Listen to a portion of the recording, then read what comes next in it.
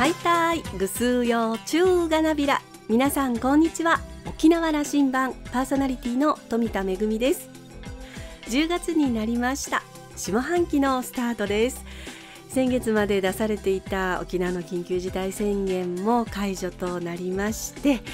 えー、臨時休業していた施設なども続々と再開しています。ただまだまだ全国に比べると人口比の、えー、新規感染者の割合は高いということから制限緩和は段階的にということになっています。でもこう長かった自粛生活の後ですからねこう光が差したような気持ちになっています。明るい下半期になるように頑張っていきましょう。さあ沖縄羅針盤今日も5時までお届けいたします。どうぞお付き合いください。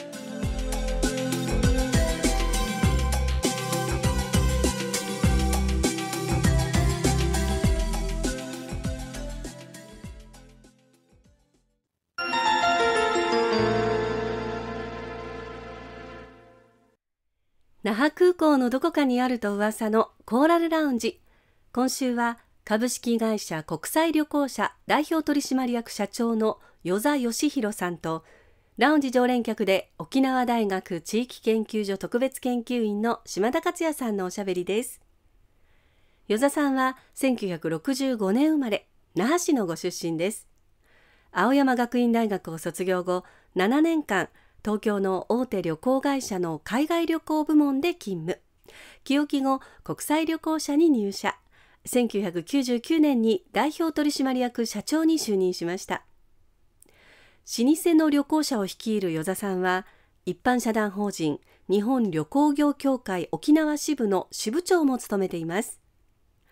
今回は新型コロナウイルスの感染拡大でかつてない窮地に立つ旅行業界の実情をお聞きしました。それではどうぞ。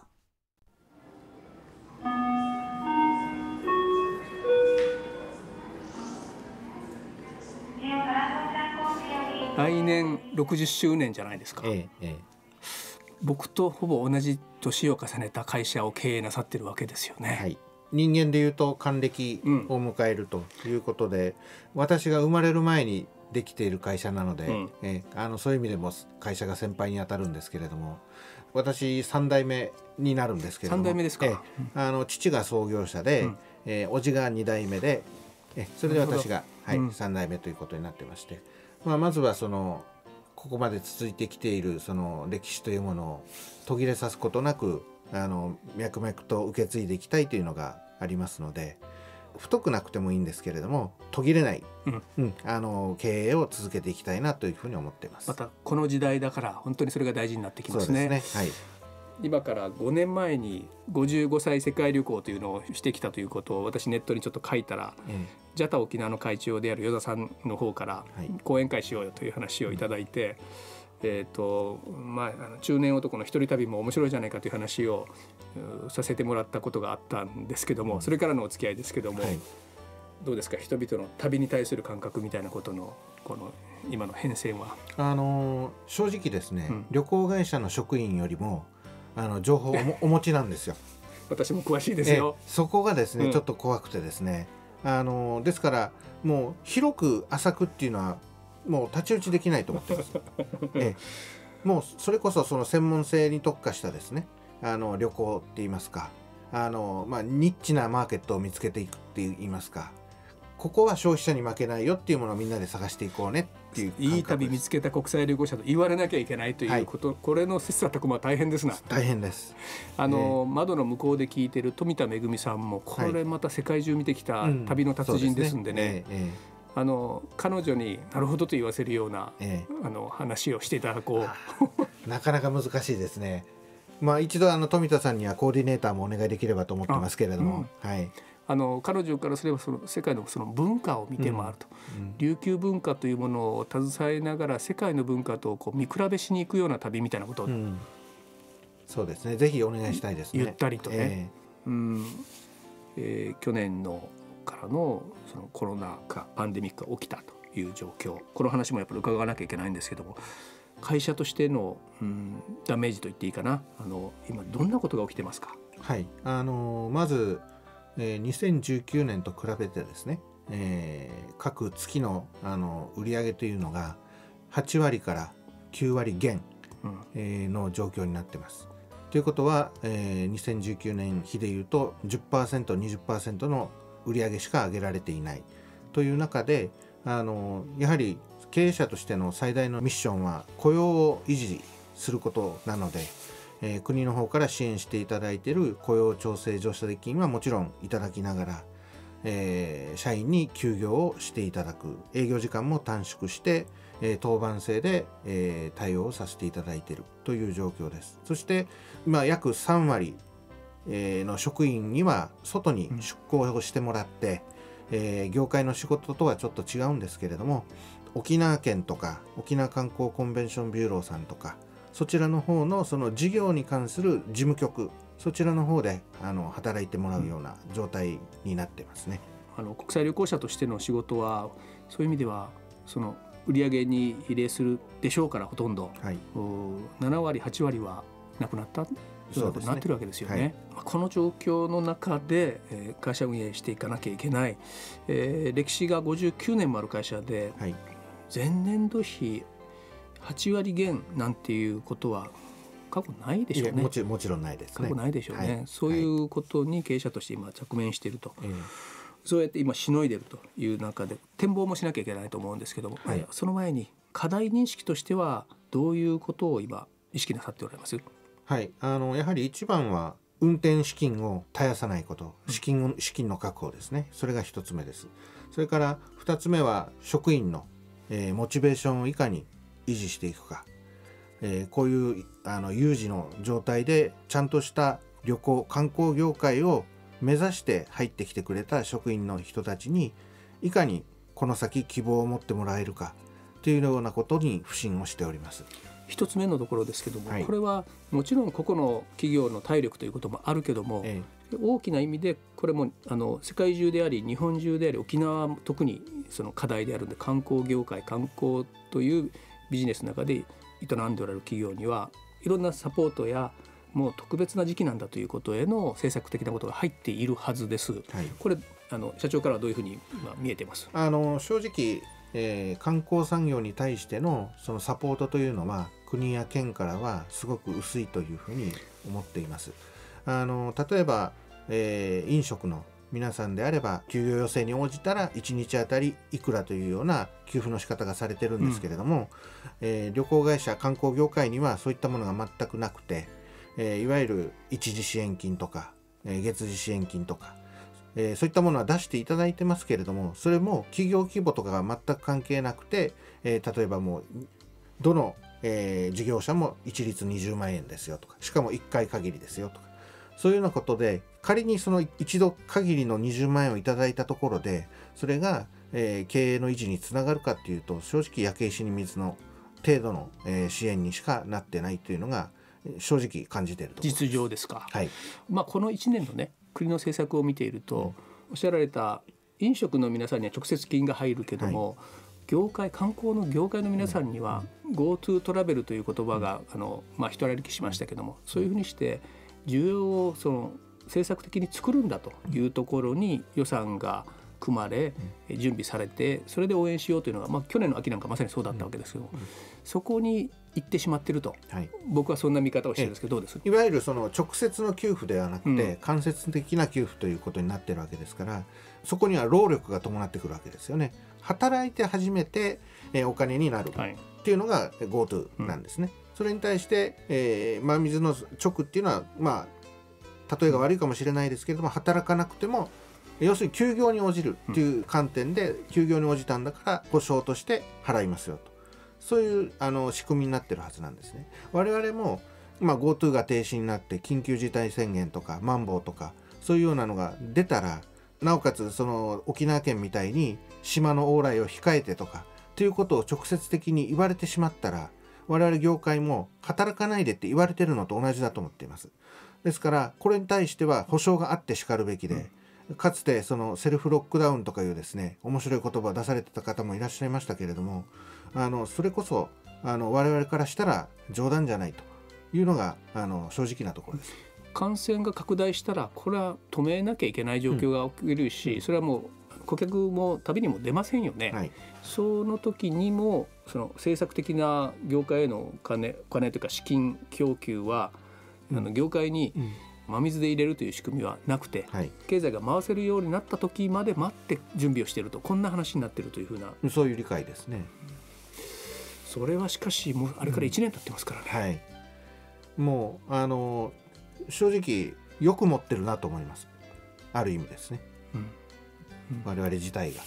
いやあの改めて、えー、お聞きしてその深刻さが分かるんですけどもそうか。それはそれは政策としてやれる、まあ、政治の力であったりあの中央の政治を待ってちゃいけない分があるとすれば、うん今沖縄の中でも業界も動いてその県議会も動いて条例制定にまで行って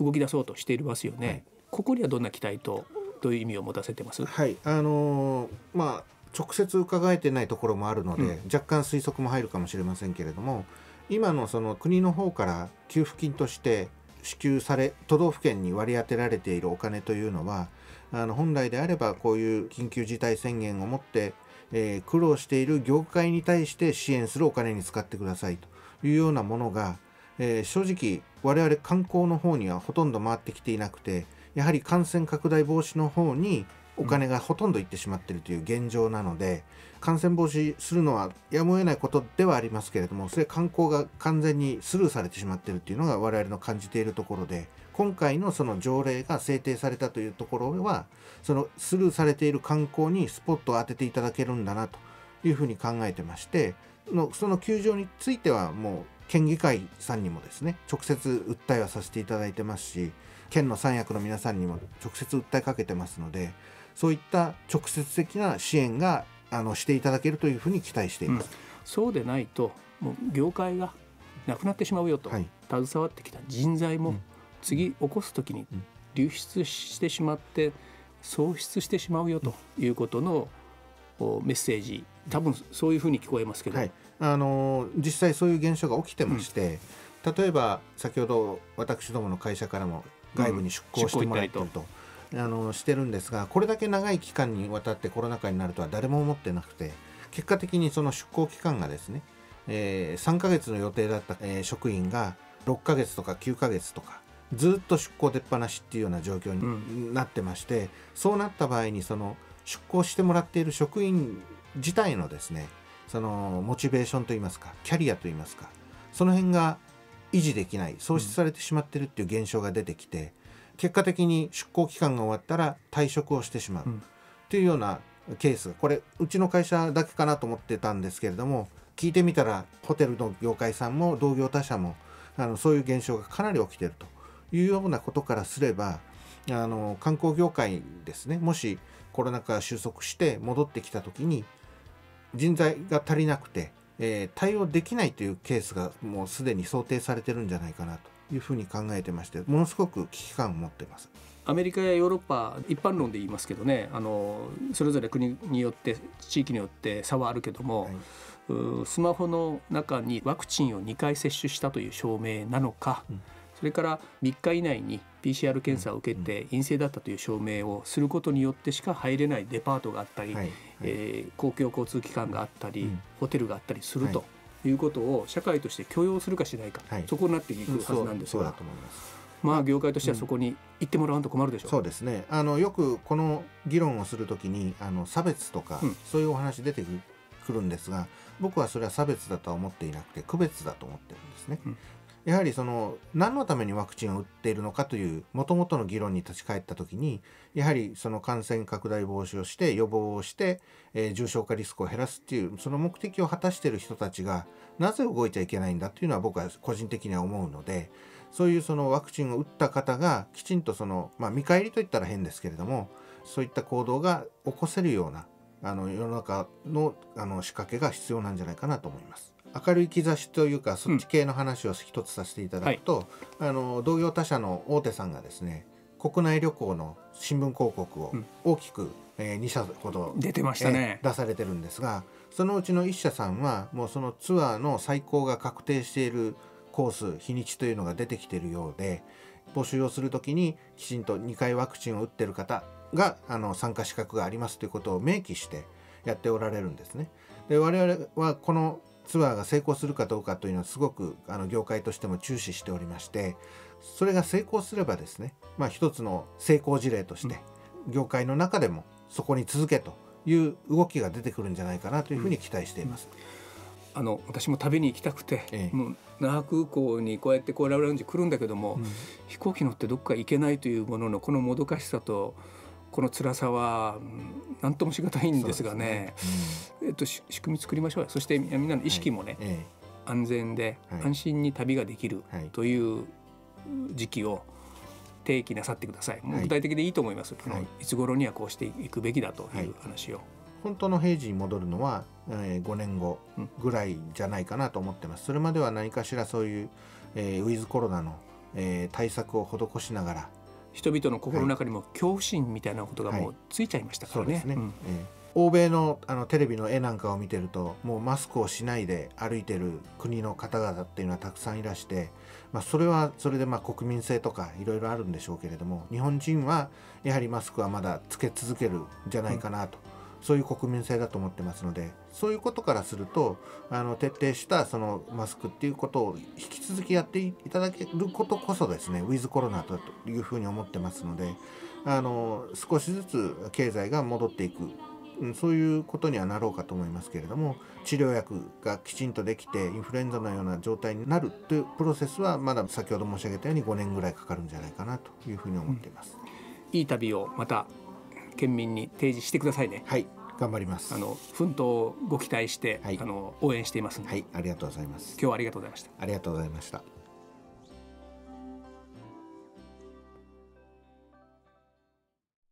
実は与座社長とはこのところ審議会とか委員会などでご一緒することが多くて、えー、オンラインではありますけれども様々議論をさせていただいております。まあ、そういった中でも観光業界の実情を訴えておられますけれどもいよいよアフターコロナ新しい旅が始まります。どういう対策をとっていくのか、まあ、あの新しい旅の形の模索がしばらく続くかと思いますけれどもでも旅の本質って変わってないですよね。綺麗な景色を見たいとか美味しいものを食べたいとか知らない文化に触れてみたいいい旅がしたいですね島田さんはお話を終えてとにかく今は踏ん張ってもらい県民に旅という夢を再び提供していただくことを願うばかりですというお話でした。今週のコーラルラウンジは株式会社国際旅行者代表取締役社長の与座義弘さんとラウンジ常連客で沖縄大学地域研究所特別研究員の島田克也さんのおしゃべりでした。来週のコーラルラウンジには琉球大学教授で医学博士の荒川正史さんをお迎えする予定です。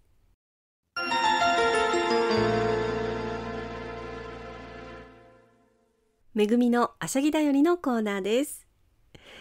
下半期はようやく皆様に舞台公演をお届けできそうです、えー、今日は私が演出プロデュースを務めている舞台公演のご案内をいたします、えー、まずは10月9日土曜日10日日曜日国立劇場沖縄小劇場でルンルンバルーン琉球舞踊の公演を予定しています、えー、こちらは世界各地で公演を重ねてきた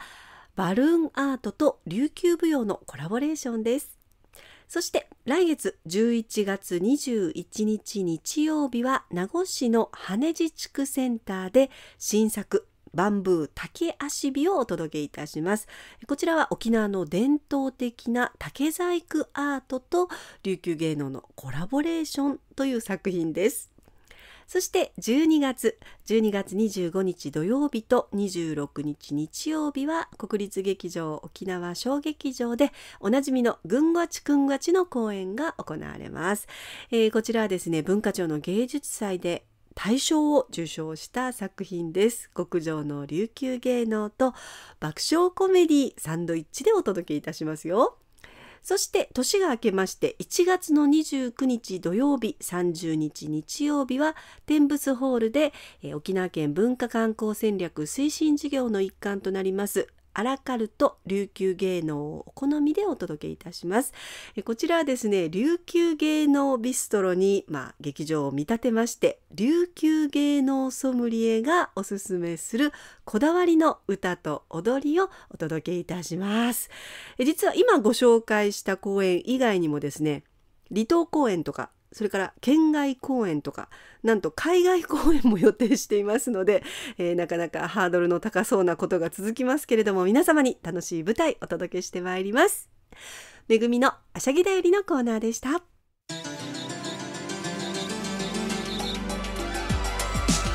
ラジオ沖縄ではラジコでの配信を行っています。スマートフォンやパソコンでのリアルタイム聴取のほか1週間の振り返り聴取も可能です。さらに沖縄羅針盤の過去の放送音源はポッドキャストでも配信しています。こちらはラジオ沖縄のホームページからアクセスしていつでもお楽しみいただけます。